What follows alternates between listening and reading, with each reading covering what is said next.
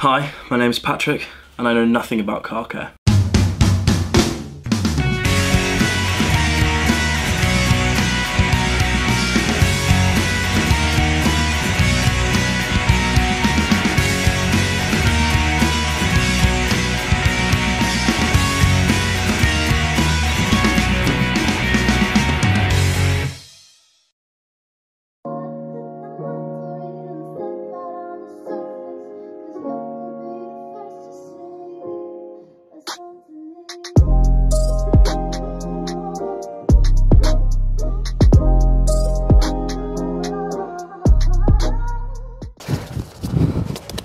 Hello and welcome back to another video. Welcome back to Detailing 101. In today's episode, we are going to be taking on the beast that is cleaning my BMW E36. Now, just for your knowledge, I haven't cleaned this car in about three months, so it is absolutely minging. I physically couldn't take the dirt off with a slight wipe. I had to really press. My good trusty guru Dale here is going to help me along the way and give you guys and me a lesson in how to really clean your car. Yeah. Obviously, I don't think yours is going to be this dirty. This is disgraceful. What we're really covering on here is the basics. And again, if you are well into your detailing and you know the basics of car care, maybe it's not the video for you. But if you are new to this, you're new to Meguiar's, you're new to our process and products, this can be a great introduction to our different shampoos, different processes, and little things like two bucket method and grit guards. Absolutely. So, without further ado, let's crack on. Let's introduce the shampoos, different kind of mitts, two bucket method, like Dale just said. Let's crack on. So, the shampoos that we currently have at Meguiar's mm-hmm. follows. First one is our gold class shampoo. Now this contains conditioners that feed the gloss into the paint, but also they sheet off the car. So when it comes to rinsing the car off, that water is gonna go straight off, so it makes drying time really nice and quick. Lovely. Then the next one is her next NXT.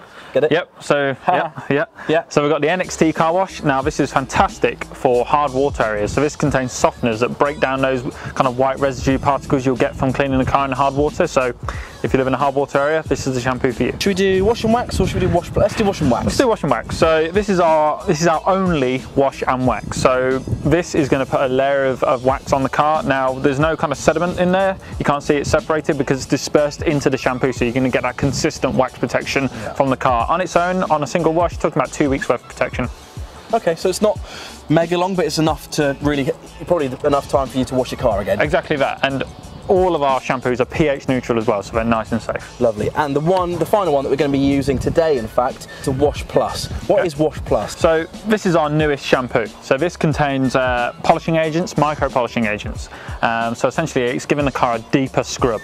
If your car needs a good renovation and you really want to kickstart a fresh detail for it and a fresh start, this is a great product because what it's going to do is going to give it a deeper clean, but also kind of scrub any contaminants that may be sitting on the surface. So it will act as a kind of a clay. Okay. Um, on harder sur- surfaces, it, it may need claying afterwards, but it's a great way to start. It's a deconstructed process, so we're going to show you later. But instead, of, you can put it directly into the bucket, but to get the most out of it, you want to apply it directly to the mitt and then wash the pan off. Yeah, so we're going to give you a, a, a real good guide about how to use this stuff, how to apply it, how best to get the best out of the product. I've said best about seven times. Right, without further ado, let's crack on with introducing you to the wash mitts. Because I'll go get them. you go get them. There's a couple of wash mitts that we can use. We do the microfiber wash mitt and the lamb's wool wash mitt. Now, me personally, I know absolutely nothing about either of them. like, I don't know which one to use with my paint, which Okay. one's best to use with other paint. So, how do you differ between the two? Um, you'll notice that we don't have sponges in the Meguiar's kind of catalogue. Myth bust. So, so we don't like using sponges solid because it's such a flat surface. Now, as you kind of wipe the surface with a sponge and it's that flat kind of contact with the paint, anything that gets in between the sponge and your paint is going to get scraped along, um, scraped along and scratch it. Um, so using a deep pile wash mitt, such as our lamb's wool or our microfiber, is a much safer way of cleaning your car and reducing the chances of swirls and scratches. Now, we do have two wash mitts. We have the microfiber. Now, this one has got a good pile on it, but the, the big kind of the big point of this is the longevity. Now, this can be machine washed like your microfiber towels and drying towels, so you're going to get way more use out of it. The lamb's wool is a deeper plusher pile and it also has the gauze on the back for kind of stubborn areas around the bottom of the bumpers. Um, this is plusher and it is softer on the paint, but because it's natural, you cannot machine wash this. You rinse it out, then hang it uh, to dry like that. Let- Never machine wash them. dry. So for me personally, I use this on wheels because I can machine wash it and I use that on my bodywork. Okay, so you use both. Mm-hmm. Okay. Um, but for yours, because it is so heavily dirty, Yeah. um, heavily grimy, we're going to be using the microfiber. Perfect. Next very important tool when cleaning is a grit guard. So this sits in the bottom of your bucket, whether or not you have two buckets or a single bucket, we're going to talk about that when we're washing the car. Yep. Um, once you've washed the panel, go in with your wash mitt and rub it against the grit guard. And what's going to happen is this, these fins here will trap that dirt and grime and stop it swirling back up into the water. Right, so the, the point is that the water circulates around the bucket and therefore the dirt gets circulated. Yeah, and it just gets trapped in these fins here. Now these will just sit nice and tight in our yellow bucket. Yeah. Um, if you've never used or never heard of the two bucket method before, you have a single bucket. Both you can have grit guards in both, but some people like to put a grit guard in their rinse bucket. Okay. Now you'll have a one bucket that just has water in it, Right. nothing else. Okay. Then you have one bucket that has soapy water in. Right. Now once you've gone over a panel with the soapy water, you then clean the, the mitt in your rinse bucket with just the clear water in it Okay. Clean it out, and then when you go back into your soapy water, it means you haven't got contaminated. Right. Yeah. So you're not mixing. You're not contaminating it. Yeah. So if you just use the one bucket, you're constantly making that water in your clean solution Yeah. dirtier.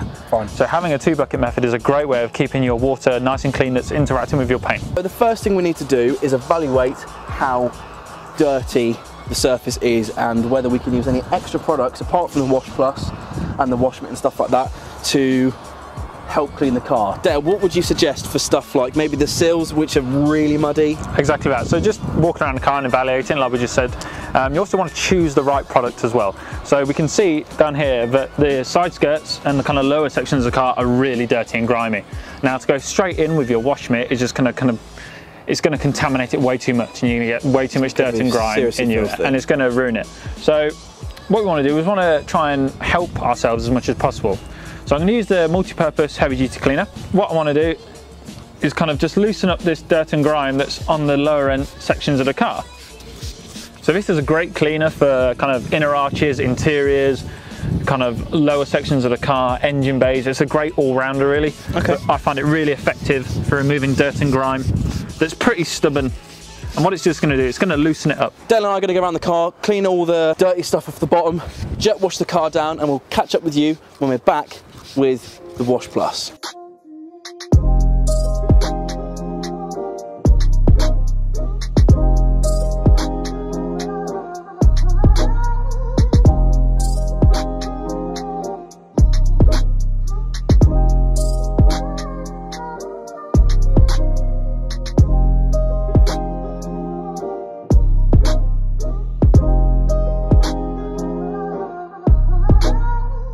So, a golden rule when washing your car, Patrick. If you can't hold your hand on the panel for more than a few seconds, it's too hot, don't bother cleaning it. Right. Always make sure it's in cool conditions and in the shade if, if, if possible. I know we're in the UK we get a lot of shade, Yeah. so we're pretty lucky on that. But it, the temptation to do it on a gloriously sunny, hot day um, is just going to dry the product way too quick. Fine, okay. So always do it in cool, dry conditions. It's freezing today, hence why we're both wearing jumpers and coats. But right, so pressure wash the car off, and we'll join back with you in a second.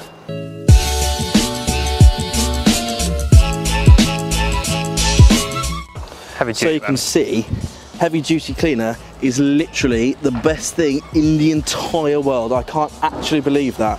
That's just one product that we've used, Dale. Yeah. That's unbelievable. Like, look at all the dirt that was once here that is now gone. You can really see the purple actually coming out in the car, which is great. So what it is, it's a tough degreaser, so it's just removing all that kind of dirt, grime, um, all the kind of traffic film. Um, if you ever do use this on kind of paintwork, always be sure to wax the car afterwards because it may strip off a bit of wax. Um, but for a kind of dramatic kickstart to a detail like this is, it's the perfect product. So, on to the next one, which is. Using the Wash Plus. Wash Plus. Sorry, we. I was gonna, but that's okay. You go. It, you okay? No, you go. You can do it. After Go on, do it now. Wash, Wash Plus. no, oh, okay. on to the next stage. Yeah. That was cool. That was a little bit much for me. hey, back to the video. So next step is going to be using the Wash Plus. So we mentioned this earlier about it being a deeper scrub for the car. Now because we've got off that kind of loose contaminants, so before washing the car, always hose away loose contaminants, whether that's with a pressured hose attachment or with a jet wash. It's always good to get that kind of dirt and grime off, just so you're not pushing it around with your wash mitt. You don't need to film that, do you? 20 minutes later. 20 minutes later. Seven years later. Just quickly while that lorry's doing its thing. Yeah, so we thought we'd um, just kind of address a little bit of a myth um, people have about cleaning their car. Now, back in the day, I'm sure we'd never own up to it, but I'm sure people have done it in the past. They've used washing up liquid on their car, which is a big no-no, really. It's um, the best way of describing it is you know how easily it takes hardened food off a plate. Now imagine if that hardened food is your wax protection, it's going to strip it right off, and it's just kind of kind of leave the surface bare. So if your car's red or a lighter color, you're going to get those UV damages um, way easier. Yeah. Um, you'll see faded paint. So the high salt um, in this, you definitely don't want to be using on your car. So resist all temptation to use washing up liquid. Don't use this. Don't use one. It's, it's not a good thumbs up, it's a bad one. Safety precautions, Dale. Give us your watch. I'm not trusting you with my watch. Okay, great. On to Wash Plus. Let's do this thing. Cool. So we've already talked about it having the micro polishing agents. We talked about it being a bit of a deconstructed wash. In this bucket, we just have plain water and our grit guard. So this is sitting nice and tight at the bottom of the bucket. So that's going in there. We have our microfiber wash mitt and we have our Wash Plus. Now in the bucket we just have plain water. We've not put any shampoo in it or anything like that. Now the microfiber is wet, we're gonna get our Wash Plus, we'll give it a good shake and we're just gonna put a ribbon of product on there. So we're not putting it directly onto the paint and we're not also putting it in the bucket. You can put it in the bucket if you want, but if you want to get the most out of this shampoo, then you want to put it directly onto the wash mitt. We've got the panel nice and wet and all we're going to do, is just give it a nice rub down. So the polishing agents are just kind of giving it a deeper wash and removing any of those contaminants that may be sitting on the surface of the paint, but it'll also remove light scuffs and scrapes. Okay. Um, any kind of deeper scratches and marks you may need to compound, which we're going to cover later. Yeah. Um, but on kind of smaller edges of bumpers, it will remove live scraps. Perfect. I'm going to get my hands dirty because I want to have a go at this. This really has been filthy and it's been three months of being filthy. So it'll be interesting to see how the wash mitt kind of keeps up with the with the dirt and also how the wash, wash plus makes a difference to the panel. Does it make any visual difference like straight away? Or. It is going to slightly polish the surface, so you will see a glossy finish. Okay. But because of the polishing agents that are in this uh, solution, you will need to wax the car afterwards, which is great because we're doing every process um, with this car. Perfect. Right. So after each panel, Patrick, just to let you know before we let you loose on the car, Let me loose. always rinse the panel, wash it down, then rinse again, then move on. Perfect. Um, in between each panel, you're using the grit guard and washing out your mitt. Lovely.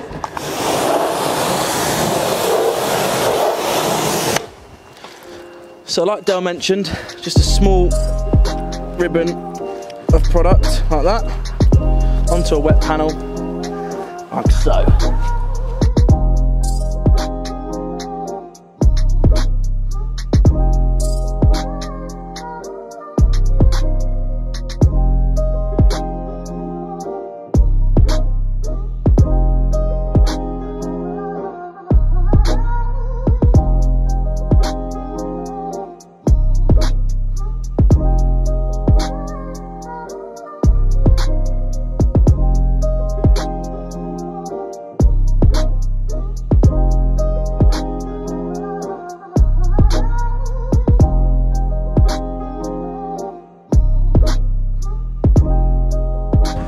Right, Mr. Dale. So, So the car's clean, you've cleaned the car. I've cleaned the car. You've cleaned the car. So what we're going to do, we're going to just give it a final rinse off to remove any kind of loose soap or any residues or anything like that. But we're not going to, we're going to be using the jet wash, but we're not going to be using full power.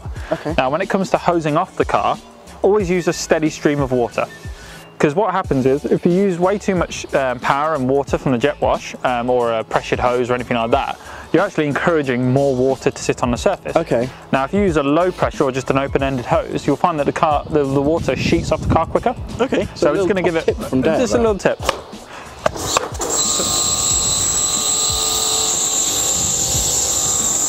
So I'm just going to quickly mention now that in a separate video to this one, so the next video that we do, this will be with Tom, we're going to give you some little cheeky top tips about how to dry your car a bit quicker. In the next video, that's what we're going to see, but just for the moment, we're going to introduce you to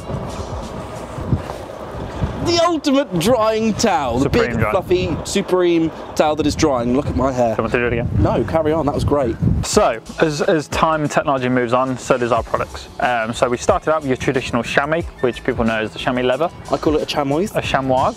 Um, and then we moved on to our kind of first delve into microfiber drying towel, which was the water magnet, which was the porous kind of um, waffle woven towel. And then as time moved on, we, we wanted something softer and way more absorbent for the car. I'm going to show you a few different ways of using the towel, but before you do anything, A, give it a good old shake uh, when you get it in case there's any kind of loose fibers or anything like that. Yep. And B, always remove the tag. Always remove before flight, like that. that way it's not going to be before dragging on the paintwork. Yeah. Good job. Cool. So we're going to have a go on the bonnet. My go-to is to get the towel and fold it several times. This way, my one drying towel has turned into about eight. Just going to put it on the paint and just slowly drag it like this. Now, some people like to kind of put the towel nice and flat and pat it down and lift, or some people like to pat, put it down and drag. Really doesn't matter, it's, it's just personal preference. Now me, I like to fold it like this because every time I move to a new section, I unfold it, I've got a brand new giant towel. You can just keep keep going until it's really Exactly. dried the whole whole car. Yep. Nice. Well, I'm going to grab a second towel and uh, give you a hand. So I'm just going to quickly show you the car because I'm super chuffed at how it's come out. The Wash Plus did an insane job of kind of giving it a really deep scrub, and the heavy duty multi-purpose cleaner was insane to get that dirt and grime off.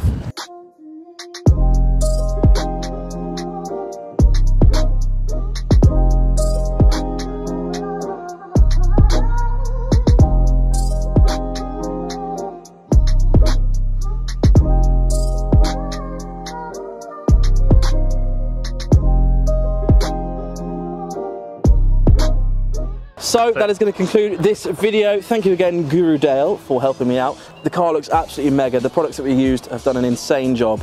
Just a little quick recap of what product we used. The first one was heavy duty multi-purpose cleaner.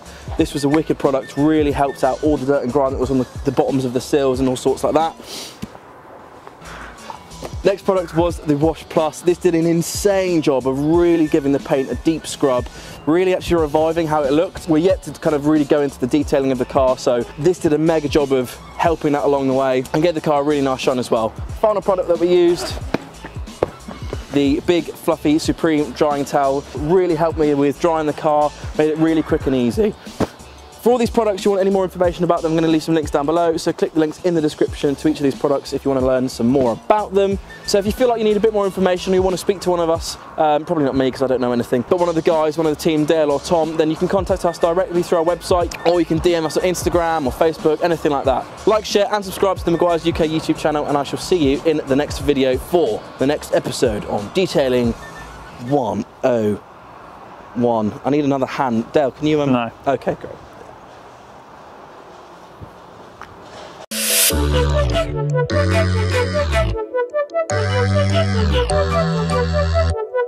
Hi, chickies. oh. oh. Ha! no, I'll wait until you get back. I'm ready. and Clean your lens. Have you cleaned your lens? Yeah, lens? it's, it's done. So what we're doing? Are we, oh, oh, we're walking into it. No, I don't like it. Clean the car. oh, it's gotta be great.